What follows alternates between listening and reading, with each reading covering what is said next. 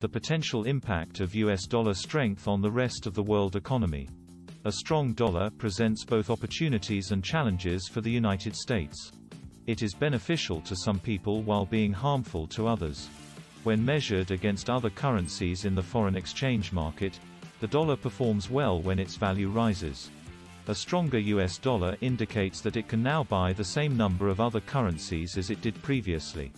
For example, a strong dollar is advantageous for American visitors traveling abroad but unfavorable for international tourists visiting the United States.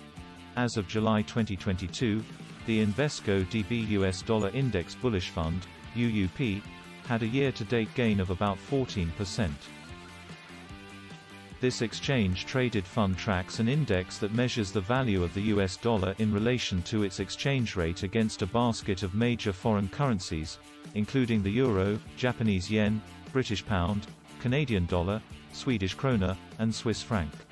This index is monitored by a third party and has no direct influence over investment decisions. The value of the US dollar has increased significantly in comparison to key currencies around the world over the last year, and it has recently reached levels not seen in 20 years. It is currently worth 16% more than the euro, 23% more than the Japanese yen, and 15% more than the British pound. The following are some of the consequences of the dollar's strength.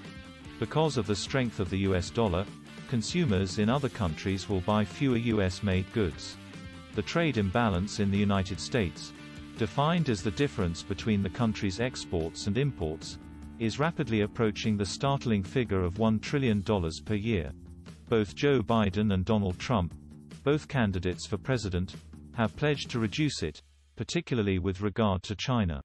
Economists are concerned that the trade deficit will increase U.S. borrowing and reflect the reality that many manufacturing jobs have been relocated elsewhere.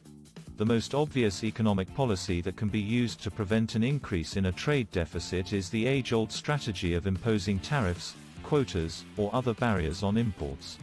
When the U.S. engages in protectionism, other countries usually respond by raising their own tariffs and erecting other types of barriers to U.S. exports. A stronger dollar contributes to the political impetus for protectionism and threatens global trade in an era where, deglobalization, has already begun as a result of deteriorating Western ties with Russia and China. This is due to the deterioration of Western relations with Russia and China. Because the US dollar is the world's reserve currency, it is used in the vast majority of global financial transactions. As a result, changes in its value have far-reaching consequences for the global economy.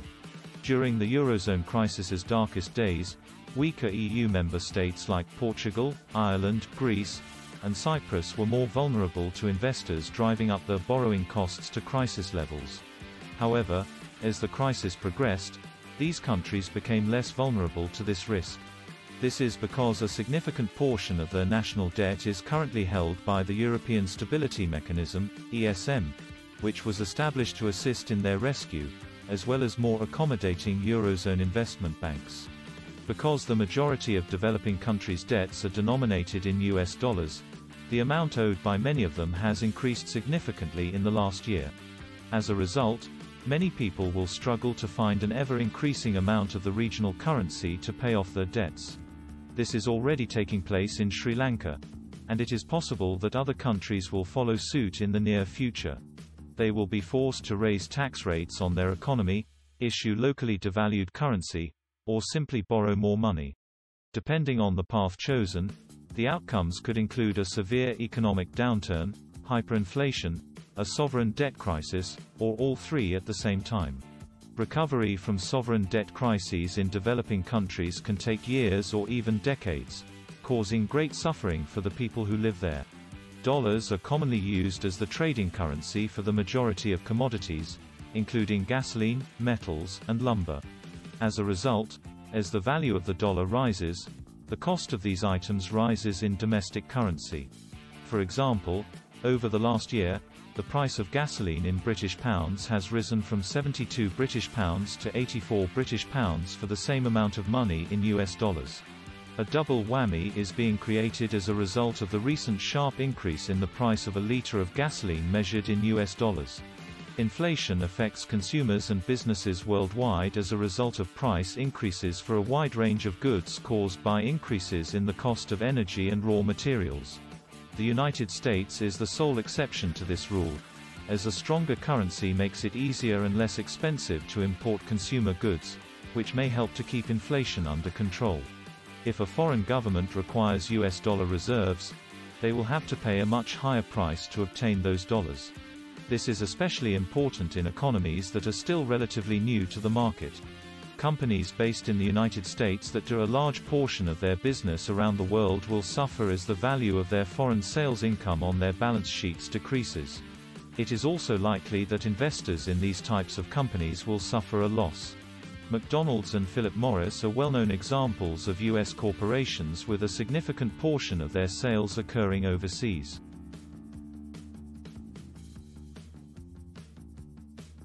While some of these firms use derivatives to hedge their currency exposures, not all of them do, and those that do may only do so partially. The stronger US dollar is an unintended consequence of higher interest rates. Because the dollar now provides a high yield when deposited in a U.S. bank, foreign investors are encouraged to sell their local currency and buy U.S. dollars. Of course, central banks in other countries, such as the United Kingdom, have been raising interest rates, and the Eurozone is planning to do the same. However, they are not acting as aggressively as the United States. Meanwhile, Japan is not tightening at all, resulting in increased overseas demand for US dollars. Another reason for the US dollar's rise is that it is a traditional safe haven when the world is concerned about a recession and the current geopolitical situation may make it even more appealing. The euro has suffered as a result of the EU's proximity to the Ukraine conflict, its reliance on Russian energy, and the prospect of another eurozone crisis. For the first time since its inception, it is approaching dollar parity the British pound has taken a toll on the British pound, which is also facing the prospect of a second Scottish independence referendum and a potential trade war with the EU over the Northern Ireland Protocol. Finally, the yen represents an economy that appears to be losing ground. Japan is getting older, and it is still hesitant to migrate in order to increase its production capacity. A weaker yen is also the price Japan pays for maintaining QE in order to keep interest rates on its government debt low. With so many moving parts in the global economy, forecasting the future direction of the US dollar is difficult. However, we believe that persistent inflation will force US interest rates to rise further, which, combined with geopolitical shocks from war and sovereign debt defaults, will likely keep the dollar high. In summary, a strong dollar is beneficial to some but detrimental to others. Because the dollar has strengthened in the last year, American consumers have benefited from lower import prices and less expensive foreign travel. At the same time, American businesses that export or rely on global markets for the majority of their sales have suffered.